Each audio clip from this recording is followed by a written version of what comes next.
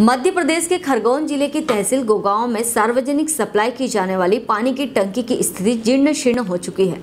उसके बाद भी ग्राम पंचायत और पीएचवी विभाग द्वारा उस पर ध्यान नहीं देकर आम जनों के स्वास्थ्य के साथ खिलवाड़ किया जा रहा है। स्थानीय रहवासियों ने बताया कि गोगांव मोमिनपुरा स्थित नगर में जल सप्लाई होने वाली टंकी की स्थिति लंबे समय से खराब है। पानी की टंकी की साफ़ सफ़ाई वर्षों से नहीं की गई है। ऐसे ही नगर में जल सप्लाई किया जा रहा है। इसके साथ पानी की टंकी खिजा हो चुकी है।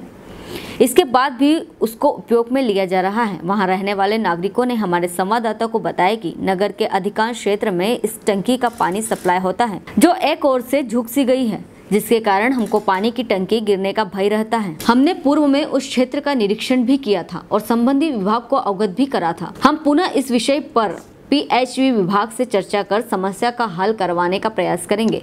वैसे भी उस टंकी का पानी नगर के कई स्थानों पर सप्लाई किया जाता है। गोगांव से इकबाल हकीम की रिपोर्ट। जो मोमिनपुरा में पानी की टंकी है, ये झुक चुकी है एक तरफ़ से, इसका सरिया वगैरह भी दिख रहा है और काफ़ी टाइम से सफ़ाई नहीं हुई इसके अंदर से। और मोहल्ले के अंदर गंदगी भी बहुत है और ये टंकी के आसपास भी बहुत गंदगी है। नालियाँ वगैरह भी साफ़ नहीं होती है इस मोहल्ले के अंदर सही टाइम पर और इससे बहुत परेशान है मोहल्ले वाले, गंदगी से। क्या नाम है आपका? मोहसिन मंसूरी गोगावा मोमिनपुरा। सर काफ़ी टाइम से ये टंकी की सफ़ाई वगैरह नहीं हुई है और इसकी मरामत भी नहीं हुई है। या तो ये एक तरफ़ से झुक भी गई है इसका सरिया वगैरह भी दिख रहा है और किस वक्त भी ये गिर सकती है और यह हादसा हो सकता है या तो इसको दूसरी बनाया जाए या इसकी रिपेयरिंग कराया जाए। क्या नाम आपका? मोहम्मद रफ़ीक। कहाँ रहते हैं आप? मोइनपुरा, गोगावा। ग्राम की जो पेयजल टंकी है, बड़ी टंकी है, जिसका निर्माण पीएचई विभाग के द्वारा कराया गया था और दो लाख लीटर की वो उसकी क्षमता है, उससे गाँव की पेयजल व्यवस्था काफ़ी हद तक वहीं से पूर्ति होती है।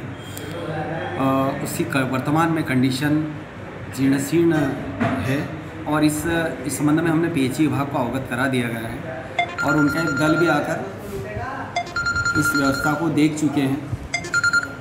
आगे की जो कार्रवाई है वो पीएचई विभाग से ही होना है। तो कभी उसका निरीक्षण करा कि नहीं आपने?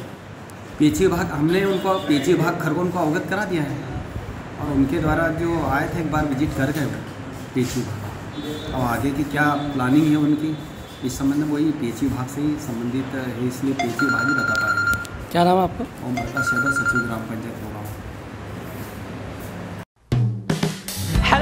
आप देख रहे हैं हमारा channel S W twenty four news हमारे सारे वीडियो सबसे पहले देखने के लिए आप हमारे चैनल को सब्सक्राइब करें और पास में लगे बेल आइकोन को दबाना बिल्कुल भी ना भूलें।